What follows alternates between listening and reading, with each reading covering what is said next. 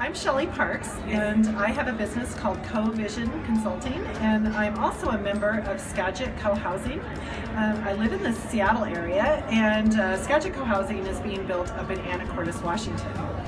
With my business, I focus on helping co-housers get started finding their members, and I help them really with the marketing and sales part of that. And what I have found that is just really um, exciting to me is that most co-housers do a really good job of marketing their communities because they're they're so passionate about what they're doing, and we're all passionate about co-housing.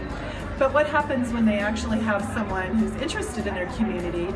How do they um, move them along the process for them to commit to becoming members? So it's been really rewarding for me to be able to work with groups and help them do that.